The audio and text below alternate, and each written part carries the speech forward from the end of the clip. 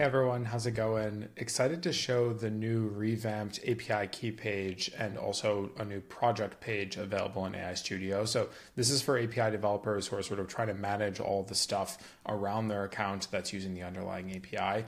Uh, so we have this new we have this new project page. You can see all the projects that are connected to your to your sort of AI Studio account from an API perspective. You can actually import other products, uh, other projects rather. This was one of the points of feedback that we got, which is sometimes folks have like tons of, of Google Cloud projects behind the scenes. They were by default seeing all those or not seeing those inside of AI Studio, and folks want to be able to control sort of what projects they see, what projects they don't. Um, you can actually also go and create net new projects. Uh, so I'll do testing one, two, three, uh, and I'll go and make that project, net new project inside of AI Studio. So now I have another new project, uh, which I can set up billing for, et cetera, et cetera. You can also see the usage. So we announced a new usage dashboard earlier. You can see the billing for this, et cetera.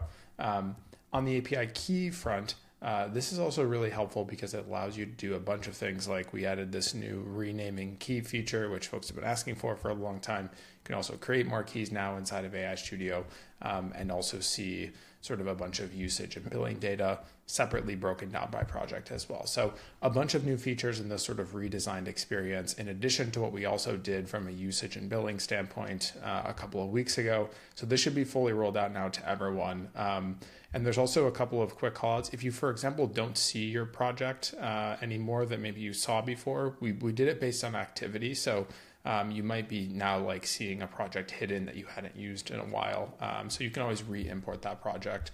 Uh, so if you click import projects, it'll search through all your available projects um, on the right hand side, and then you can choose the ones that potentially need to be re-imported if you want to continue to see those. So hopefully this makes it easier if, if you're sort of using AI Studio and have many cloud projects or have many projects in general, and you want to separate billing, usage, etc.